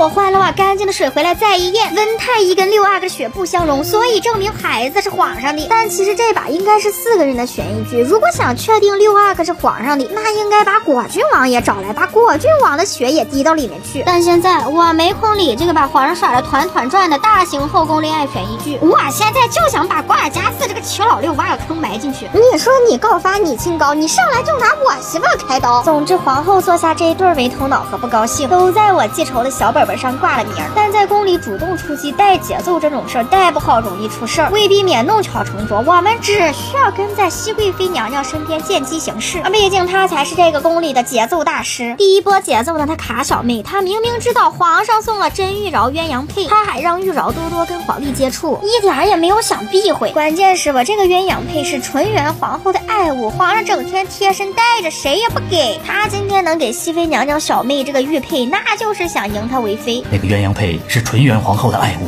这就叫有福气。她有福气的日子在后头呢。这话什么意思？我明白，熹贵妃娘娘应该也明白。可就是在这个前提下，熹贵妃娘娘依然是带节奏，拼命的推销她的小妹。皇上跟他的小妹相处一个月，一个月之后，瓜尔佳氏就又抄家又落狱又流放。有天下着大暴雨，瓜尔佳氏那个齐老六就过来求情了。那天呢，他跪在殿前，是一边求情，希望皇上放过他的母家，一边呢又对着熹妃娘娘破口大骂。当时皇上招呼我过去，跟我说：“你去告诉瓜尔佳氏，朕念他。”入宫侍奉多年，只废他为庶人，不会赐死，让他回去吧。嗯，什么？皇上您的入宫侍奉多年，所以会赐死。嗯，这老奴马上去办。我马上就依着皇上的意思出门，递了个眼神，让侍卫将他乱棍打死。连他的后事我都给他安排好了，乱葬岗九九九 VIP 贵宾室。忘了告诉齐老六，我特别的护犊子。之前有个唱曲儿的余莺儿欺负我徒弟小夏子，尚且是个死，你还敢惹我老婆？怕是你不知道，我们这种人的职业病就叫你惹不得。处理完他之后，我还专门跟身边的人交代了这件事，别跟皇上说，免得脏了皇上的耳朵。像这种可以杀掉不用忍了，一般要满足三个原则：一，朝中无背景，无母家可依；二，皇上厌弃，对他这个人再也不会主动提起；三，宫中无根基，无人会为他的死不饶不依。在这个宫里，真相不重要，我就喜欢一报还一报。当你用苏培盛的视角打开《甄嬛传》，那真是只要我老婆有需要，这宫里就没有什么事儿是我办不到。你呀，看东西太多。大家好，我是苏培盛啊。说实话，在这个宫里，我早就练就了十八般武艺，但这些武艺不会轻易的展示，除非是为了我们家锦汐。就在前两天，我发现我们家锦汐跟我丈母娘在那玩大型后宫坑皇帝仙人跳。这仙人跳有规模、有格局、有深度，我在旁边看着都觉得这该是皇帝多么悲惨的一幕。我们家锦汐跟我丈母娘那是真会玩，他们俩先把甄玉娆打扮的跟芭比娃娃似的给皇上看看，看完之后跟皇上说，说这娃娃是个限量款，你买不起，不如你去别家店转转。皇上一听笑了，什么东西我买不起？不就是把瓜尔佳氏一族法办？我现在马上去办。可我呢是眼瞅着皇上法办了瓜尔佳氏过来屁颠屁颠的想领限量款，却被我丈母娘告知啊，甄玉娆这个限量款早已卖完，她现在已经进了慎贝勒的家，是慎贝勒的小心肝。哎呀，这事儿闹的，皇上一向最讨厌弟弟没有边界感，现在不仅是弟弟没有边界感，这回连我丈母娘跟我的锦溪都帮着他弟弟连夜截胡他排队买的限量款。这事儿整的真是芭比 Q，皇上坐在那连夜 emo 就差进 ICU。这个局要是别人做的，我可以不理，但关键是有我们的锦溪掺和进去。那天晚上，皇上坐到那一句话不说，哗哗翻书，我得他一个字儿都没有看进去。就在这个时候，凭我多年的工作经验，我觉得当皇帝深夜 emo 时，正是我们吹枕边风的好时间。于是我就借口说皇上您灯太暗了，借着给皇上换灯的机会进了皇上的房间。果然我正换着呢，皇上就跟我说。苏培盛，朕看上一个女子，想要纳她为妃，她却不肯。开始了，开始了！皇上开始深夜御语，问我这个人生的意义。你怎么看？我搁这等你很久了，就是准备等着指点你。皇上说他看上一个女子，这个女子应该就是甄玉娆，说他想纳她为妃，他却不肯，这就表明了，虽然皇上知道甄玉娆这个限量款已经售罄了，但是他还是很想要。皇上现在问我怎么看，那我就得依着我们家锦汐的意思，让你放弃甄玉娆这个限量款。想说服一个多疑的皇帝的第一条就是你得保持中立。于是我说，皇上，奴才不知道这个女子是何人。开口劝说的第一句话就把自己给摘出去，这事儿我不清楚，我不知道啊，我就是就事论事，一老实人，您听听就好。但奴才觉得，再好的女子，也比不上纯元皇后啊。这句话就是在点皇帝，皇帝您可不能喜新厌旧啊！您还记得大明湖畔的纯元皇后吗？皇上一听果然有点生气，抬起头质问我，问我说这话是什么意思？奴才是觉得。作为一个亲眼见证您的感情史风风雨雨走过来的老实人，奴才苏培盛觉得，皇上喜欢谁都不要紧。皇上喜欢谁都不要紧，因为您最喜欢的永远是纯元皇后。能替纯元皇后伺候皇上高兴，那才是他的福气呢。就算那女子过来，也只是替纯元皇后伺候您高兴。既然皇上您最喜欢的是纯元皇后，又何必执着一个甄玉娆，非要她来跟前伺候？换句话来说，这女子是甄玉娆还是甄德昭，其实根本不重要。重要的是，皇上的心永远在纯元皇后身上，永远不会被任何人分跑。所以，皇上您何必纠结一个代替品？您想要的永远是纯元皇后，而不是谁家未出阁的小女。你呀。看东西太多，皇上您过誉了。男人不一定懂男人，但男人一定懂渣男。就您的那点小九九，难道我还看不穿？那天晚上，经过我的一番开导，皇上放弃了真玉娆这个限量款。这事儿办妥了，我回家也能睡个好觉。我总是害怕我们家锦汐跟上次一样卷入了什么滴血验亲的生死局。那种局该说不说，生死都在皇帝一念之间。说什么我都不想让他再来一遍。可甄玉娆出嫁之后没多久，先是太后病逝，又是安陵容怀了一个皇嗣，这下只会唱歌和不高兴的。安陵容终于是高兴了，但我丈母娘开始不高兴。且不说那天滴血验亲，这个安陵容非要责打我们家锦汐和浣碧，就说那天滴血验亲当晚，安陵容让她手下的小宫女去报信，惊着了惠嫔的胎，让她生下女儿便血崩而亡，再也没有醒过来。我听锦汐说，惠嫔是我丈母娘最好的闺蜜。现在惠嫔去世，安陵容却又怀皇嗣又封妃，我丈母娘就想在她封妃的封号上加一些小点缀，这不巧了吗？这不就涉及到我的专业范畴了。一般来说呀，封妃的封号由内务府拟定，交给皇帝过目。但听锦溪的意思，我丈母娘好像有一个更好的封号要送给安陵容，让她死也瞑目。于是吧，拟定封号那几天，我就跟我丈母娘约好了，什么时候她来看皇上，什么时候我再把内务府拟好的封号拿给皇上欣赏。藕粉桂花糖糕，入口香甜，皇上尝尝。那天我丈母娘不仅来看皇上，还带了大招给他欣赏。谁不知道藕粉桂花糖糕那是惠妃娘娘沈眉庄的生前挚爱。我丈母娘进门就提了这么一杯，一是想让皇帝想起惠妃娘娘的好，二是让皇上想起是谁惊着了惠妃娘娘的胎，让她雪崩不在。是想着姐姐，吃着喜欢，便是怀念姐姐了。走进门来瞧一瞧，我感觉我来要硬币的时间刚刚好。内务府拟好了给安嫔的封号，请皇上过目。皇上对这个安嫔没有什么特殊的感情，就连给他定封号，也让坐在旁边的我丈母娘帮他选定。我丈母娘拿到三个答案，特意帮皇上排除掉两个正确的，剩下一个错误的。最后剩下的那个“利”字，形容夫妻伉俪、夫妻情深，这个字只能用在帝后身上，要么是纯元，要么是皇后。很快，皇上也发现了这个字有问题。安陵容只是他的侍妾，怎么能跟他夫妻伉俪？最后，我丈母娘凭借一己之力排除三个选项里的正确答案，只剩一个错误命题。这样说的话，那只得是内务府送上来这三个封号都不好，必须回去重新选封号。就在这个时候，出现了罕见的三个人踢皮球大会。内务府选的封号不好，我丈母娘说让皇上指定一个封号，可皇上也懒得选，让我丈母娘想一个算了。我丈母娘说这种事她怎么好做主呢？皇上就把笔和纸扔过来，说你随便写，我随便看，给他整一个封号就算。本来我还以为安陵容这一生一直被嫌弃，定个封号也没人想搭理。但当我看见我丈母娘在纸上写出了一个带鸟字旁的离，我就知道事情没有这么简单。我丈母娘骂人真是骂的好不嘴软。能歌善舞，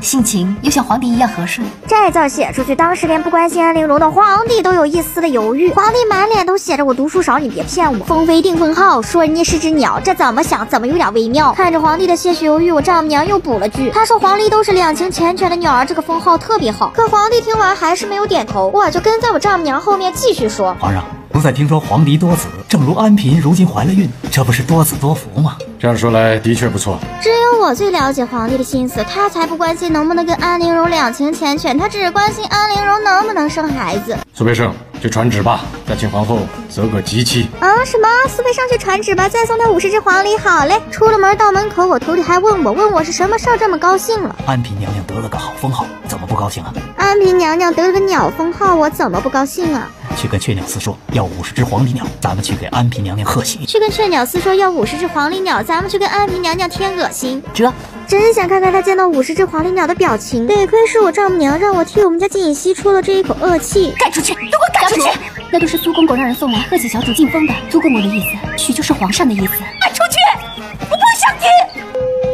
当你用苏培盛的视角打开《甄嬛传》，那真是我老婆可柔弱不能自理，谁敢欺负她，我跟谁急。阉人也是人，说的也是人话。大家好，我是苏培盛啊，在这个宫里，八条腿的蚊子不好找，八百个心眼子的人倒挺多。你也说你心眼多就心眼多，能不能别老欺负我老婆？特别是那个安陵容，别人是心眼多，她是心上长了个马蜂窝。你也说她自己怀了个孩子，保不住就开始琢磨怎么赖到我丈母娘头上，让我的锦溪连坐。我不管你想针对谁，你想拉我们家锦溪下水，你就是有罪。当即就由我丈母娘决定，由我丈母娘牵头，瞬时成立了由端皇贵妃、敬贵妃、我魏灵、魏太医共同组成的联合告发屠鸟计划。这个计划总共分四步，我就负责第二步和第四步。在宫里这么些年，很久都没有打过队友这么多的团战了。我要是安陵容，我都吓得发颤。那天一大早，我丈母娘就吹响了集结号，在皇后的景仁宫打响了第一炮。那天由端皇贵妃提交政务，告发安陵容通过香药等不法手段恶意争宠。届时再由我丈母娘和敬贵妃在旁边，一个唱红脸，一个唱白脸的打配合，相继引出安陵容有罪，引起皇上注意，点燃导火索。第二步，由我借着皇上的疑心去安陵容的宫里搜宫，找到证物。当时我看他又不高兴的坐在那，我还好心好意说呢。娘娘别慌，是搜宫而已。我发誓，在零点零一秒之前，我是一点恶意也没有。当我说完这句话，人家直接给我来个啊，搜个宫跟抄家似的。本宫知道，永寿宫也搜个宫。哎，不是不是，你没事吧？你是不是溜溜没吃少了？那永寿宫唯一一次搜宫，不就因为我跟锦溪那事儿被捅出去了吗？在这个时候，此时此刻，你提我们家锦溪的黑热搜，你几个意思？风水轮流转，今日也来到本宫这里。什么就跟你风水轮流转呀？你竟敢跟我的锦溪相提并论？你今儿个为啥被搜宫？你心里没点 A B C 数吗？但一想到今儿个我还得完成我丈母娘交给我的任务，于是我决定不与他计较，浅浅的骂两句得了。好日子过了头，好日子做坏事做过了头，坏日子就临头了。死期也就临头了。日子好坏也不是你一个阉人说了算。谁能告诉我他是不是不想活了？先提我们家锦溪的黑历史，再提我身有残疾，连你的主子皇后娘娘见了我也不敢这么着组织语句。你这么牛 C，有本事你去造太空电梯。咱就是说，当天的我时刻记着身负大义，就算是安陵容这么着怼我，我都没有怼回去，我愣是站在那憋了一句话不说，生生等着他们把证物找出来了，我才怼回去。找到了，阉人也是人，说的也是人话。像你说的都是鸟语。得了，黎妃娘娘，往养心殿请吧。得了，黎妃娘娘，往阎王殿请吧。此时的阎王殿不是养心殿，正有一堆人在那区分大小王。此时此刻，正由我丈母娘领衔主演，安妹妹好狠的心啊，引出安陵容在书魂胶里放麝香一事，再由魏林魏太医验证书魂胶里的麝香极重，确有使龙胎不保之功效。然后当端皇贵妃哭诉，安陵容当时意外惊着沈眉庄的台丈静和公主失去母亲，就该我上场表演什么叫釜底抽薪。我直接过去打报告跟皇上说，说我刚刚搜宫的时候啊，那是发现了很多小黑团子，这小黑团子让魏林魏太医一验，那全都是麝香。就这场面，坐在旁边的皇后想都不敢想，她完全锁定不了整个屋里全 T M 是敌军。当然了，这个计划还有最后一步，最后一步就是我要趁热打铁，提醒皇上我把黎妃娘娘给带过来。奴才带了黎妃来，已经候在殿外。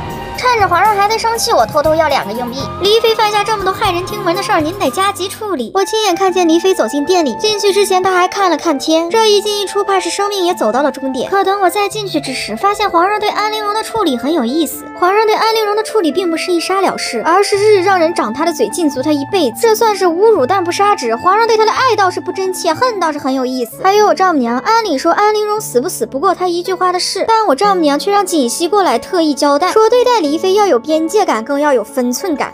苏培盛说了，延禧宫那里他会照顾得很好。照顾得好是一方面，另一方面是不管这个鸟娘娘有任何风吹草动，咱们都得把话带到我丈母娘面前。黎妃说想吃苦杏仁儿，苦杏仁这事儿可大可小，可生可死。虽然我跟这位鸟娘娘确实有过一些过节，但她性命的去留我不好插手，只能折在我丈母娘手里面。黎妃死了之后，全宫上下只剩皇后娘娘一个 boss。这个 boss 本就血条极厚，打不好要见 Moss。可我们组那个静贵妃又开启了误伤友军，伤害翻倍。当初她抓我跟锦溪的时候，我就觉得她是有点监控器在身上的。现在她又抓到了三阿哥跟英贵人。我不是说她在宫里抓早恋不好，而是她每次一抓到早恋，她就瞎告发，让跟她一组的队友那是吃不了兜着跑。就比如说这次他抓到了三阿哥跟英贵人，那他拿到这第一手资料也不赶快去跟我丈母娘报告，就一个人跑到皇上面前说，臣妾要告发三阿哥跟英贵人私通，还有三阿哥写给英贵人的情书为证。他这一通告发下来，第一个被处理的不是皇后，也不是三阿哥，第一个被处理四白绫的是英贵人。接着呢，第二个被处理的就是我丈母娘。为什么？因为英贵人这个秀女是我丈母娘的义妹，那个叫浣碧的选拔上来。就因为这事儿，当天我丈母娘的协理六宫之权就没了。最后第三个被处理的是果郡王，因为浣碧现在是他老婆，如果浣碧有错，那果郡王也得连坐。静贵妃这步棋，那真是一人贪心，累死三军。至此，果郡王府的中心被疑心，我丈母娘协理六宫的权柄下移。皇后跟三阿哥不仅啥事儿没有，我丈母娘还失了皇上的欢心。但好在我丈母娘确实有点宫斗的天分在身上，她跟皇上因为这件事冷了这么些时间，就马上有一个龙胎来救场。这孩子就像及时雨是踩着点来的，既然这雨都来了，那我的枕边风也得跟上。熹贵妃这两天怎么样？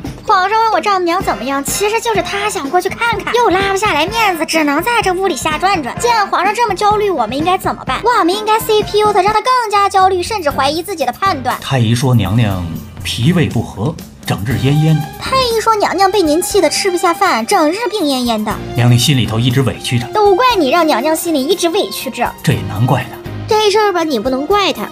不怪他，怪朕。哟，这是听明白了。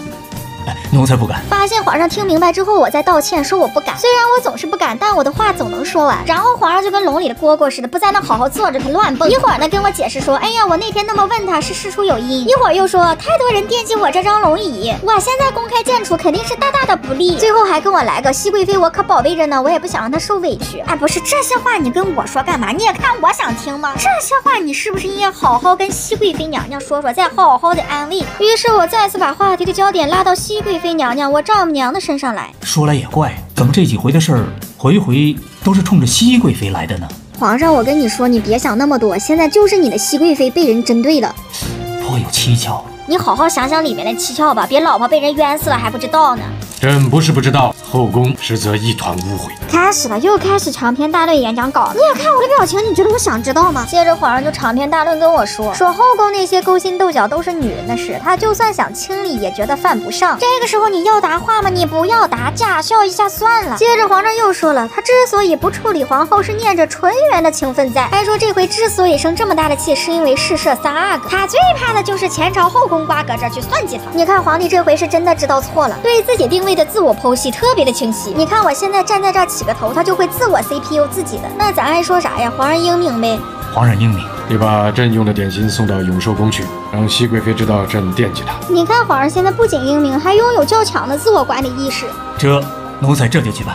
用苏培盛视角打开《甄嬛传》，那真是果郡王的爱如火，差点烧死锦汐和我。熹贵妃娘娘三思，王爷不可如此。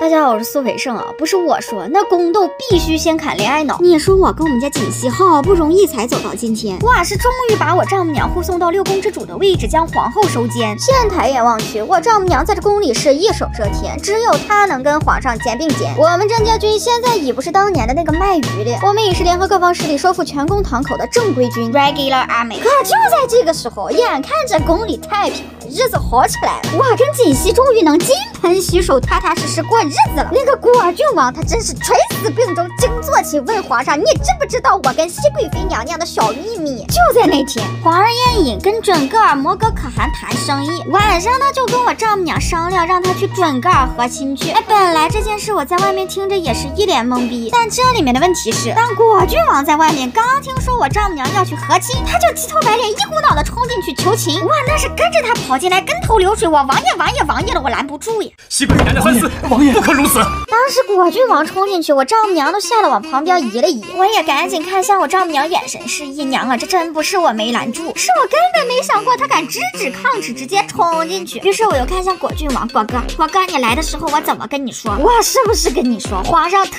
意交代了，让你在门口等，非召不得入内？你在干什么？但事实证明，我果哥确实是个狠人。他进来连说两句话，每句话都以熹贵妃娘娘开头。他先说熹贵妃娘娘三思。不可如此，又说熹贵妃娘娘虽然不惜一己之身，可只怕皇兄会陷入不义之地。你这两句连我都听出来了，最后这个皇兄十分多余，你也就是搁这担心熹贵妃娘娘，我得想想怎么给她摘出去。于是我说，哎呦，王爷，皇上尚未传召，您是不能进来的。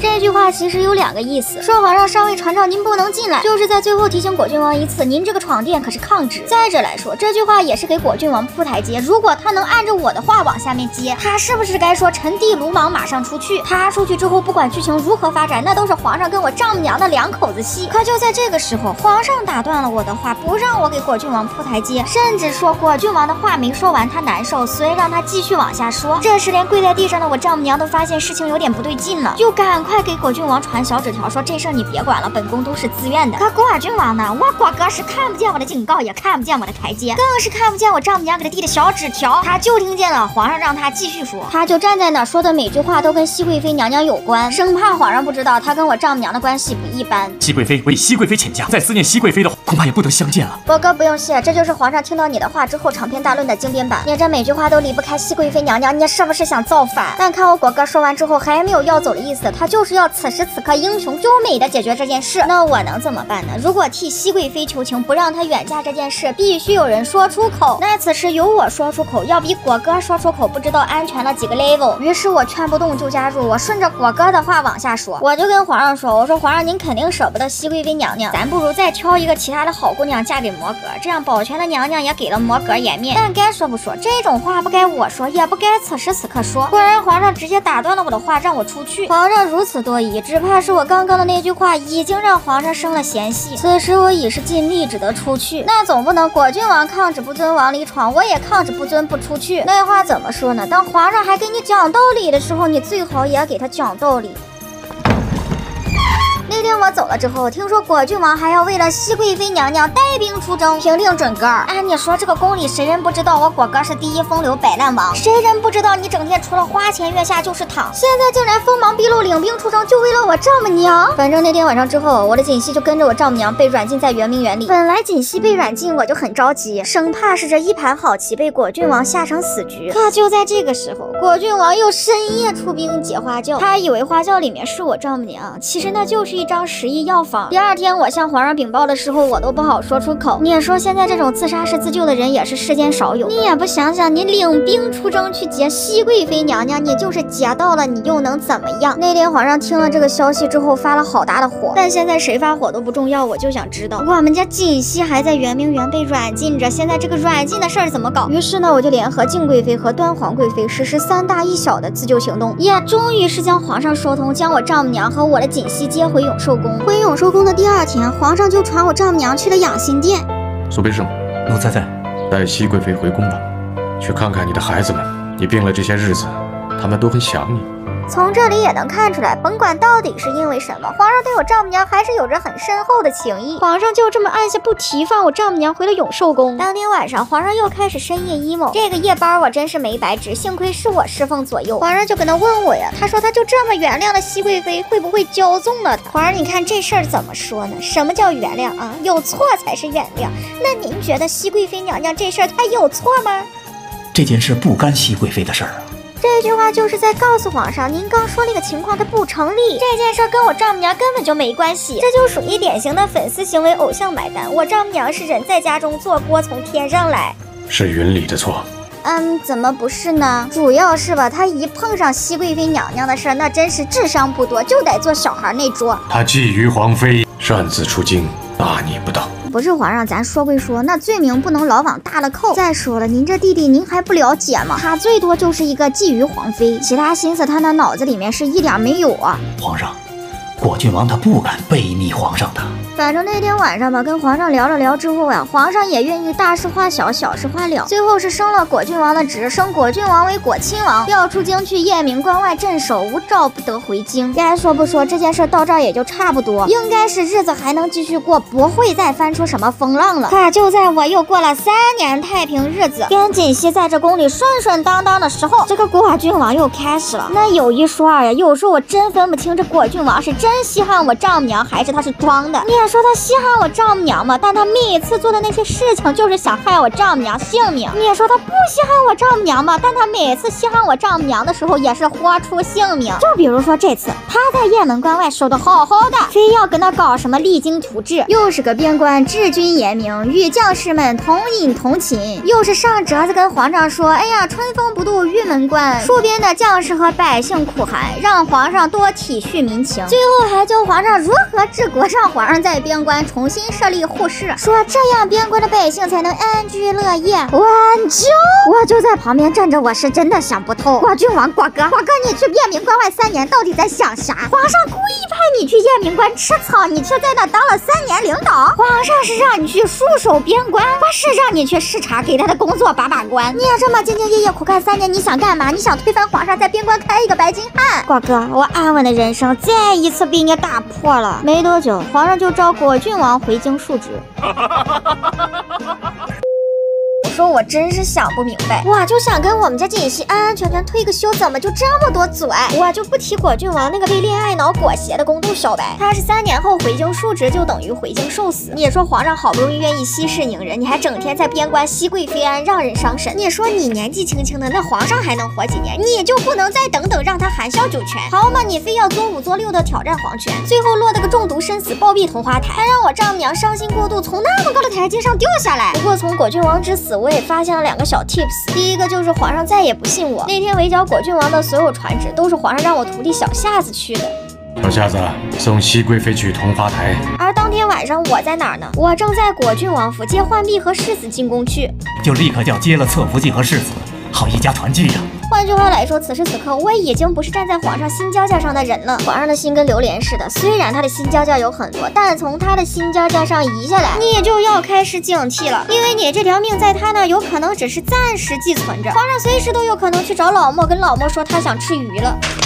可事情远没有看起来这么简单。果郡王死了之后，侧福晋也跟着去了。我丈母娘就开始找写熹贵妃安的那些信。其实这些信我知道都是沾杆处那个叫夏邑的捅出来的。但我丈母娘此时去找信，就是摆明了要跟皇上斗到底。而皇上呢，皇上虽然风烛残年，但他身残志坚。明明是他说我丈母娘杀了果郡王，就让六阿哥当太子。那天下了朝，又刻意试探，说张廷玉说要去抹刘子，整天跟那张廷玉说。张廷玉说你是没有脑子，你还是不会治国。之前画的大饼不想给，就直说别在那拐弯抹角的说什么母强子弱、牝鸡司晨。我还怕你一道白绫刺下来，结束了我跟我们家锦汐的美好生活。皇上听信了牝鸡司晨之言，会一条白绫刺死臣妾的。要不怎么说跟皇上这种人就玩不得？你在他面前想求一个公平就很难得，他随时都可以撤销他的承诺，而你只能说皇上圣明，你干的真不错。由于双方实力差距实在太悬殊，跟皇上这种人相处的时候一定要学会自我保护。可皇上跟我丈母娘面和心不和之后，就经常出去夜宿，宿了几个晚上就开始躺板板鲜血往茶杯里吐，一时之间皇上突然病倒，连魏灵魏太医也看不好。当魏灵魏太医看不好病，那这里面的信息量就大的要命。皇上这一病，一口气就在九州清晏躺了半年。我丈母娘还特别贴心的吩咐我，让我把写满国家大事的折子送到皇上面前，告诉苏培盛，把折子送去皇上跟前，他一定会看。那真是熹贵妃娘娘拿着你的生死簿，时刻给你的生命倒计时提提速。可就在前天，我扶着皇上出去走走，皇上说自己漏风，又看见果郡王的世子元彻入宫，之后皇上回来就发了疯。之前是皇上宣旨不要我，点名就要小夏子，现在是生病了不找太医，非要找夏邑。但这个夏邑就属于老莫二点零。皇上此时找夏邑，我有点不放心，我得留着个耳朵替我丈母娘刺探敌情。方才夏邑来给皇上请安，呃，似乎是涉及娘娘与六阿哥。娘娘刚刚夏邑过来给皇上请安，好像是又看出来了六阿哥不是他亲生的。这种事儿吧，咱就早点提示，早点说，别又跟上次滴血验亲一样，搞得备受折磨。可这次我反应的很快，我丈母娘反应的也很快，很快夏邑这个人连人带魂都被我丈母娘给处理了。但不知道这次是我丈母娘杀的太快，还是没收住刀。夏邑没了之后，皇上也连人带魂都魂归故里了。这次皇上病倒，我丈母娘拢共就来看过皇上两次。第一次来看皇上出血了，第二次来看皇上出殡了。中间发生了什么事我不知道，但我知道这个事一定是我丈母娘干的，她跑不了。那我此时此刻要举报我丈母娘来一个大义灭亲吗？这样说的人，你是不是图我的退休金呢？我不仅不会举报我丈母娘，我还会站好我的最后一班岗。皇上一死下了葬，我就能安全退休回家躺。但回家躺之前，我还要用我最后的余热要个一键三连，不是要帮我丈母娘稳住局面。士卒有多尔衮，圣族有鳌拜，你可别学错了路。这个小哥哥呢是甄玉娆的老公，也就是我丈母娘的妹夫。而前面这个大哥哥呢，他是恒亲王。你乍一听这个恒亲王好像不认识，好像没在这个宫里出现过。但其实他手里也养着一个皇子，就是那个为罪臣求情的三阿哥那个小傻子。皇上病天之后，大家其乐融融的齐聚一堂，讨论谁是储君。就在这个时候，这个恒亲王呀是六阿哥他也反对，四阿哥他也反对。选六阿哥的时候吧，他说黄口小儿怎能称帝？选四阿哥吧，他就说怎能听你一面之词？反正就是选哪个他都不满意，他就是想把手里的三阿哥给推上去。你可别推了，皇上给你那个本来就是残次品，请你压箱底。再一平心而论，三阿哥那孩子本就单纯善良，根本就不适合生活在宫里。就在恒亲王和慎贝勒和我丈母娘讨论不休之时，我突然我就说了句：“熹贵妃所言甚是。” 是。紧接着我丈母娘就找准时机，踩着这个台阶就登上去。先帝高瞻远瞩，早将亲笔密旨，皇旨固封，住于锦匣内。搁置在乾清宫正大光明牌匾之后。该说不说，一朝天子一朝臣。四阿哥登基之后，我就正式退休了。但我们家锦汐还是十分热爱工作的，一直在她的工作岗位上拼搏着。其实说起拼也没什么好拼的，毕竟在这个宫里，现在能出来跟我丈母娘碰一碰的人实在是不多了。一代帝王的陨落，就代表着另一代帝王的诞生。现在我坐在我的宅子里，我是什么都有了。但先帝一辈子所祈求的那些，我甚至怀疑他是否曾经拥有过。可能一个男人同时拥有很多个老婆，本身就是错。但像我们这种人，可能也很难真正。理解皇帝的生活，毕竟人家不用假不假就能白玉为堂金作马，阿房宫三百里不过就是皇帝的一个家，宫里也不缺白玉床，宫里就想请龙王。我只是一个渺小的人，我也只想要一些小小的幸福。关关关关关关注我，你可以看到更多有趣的视频哦。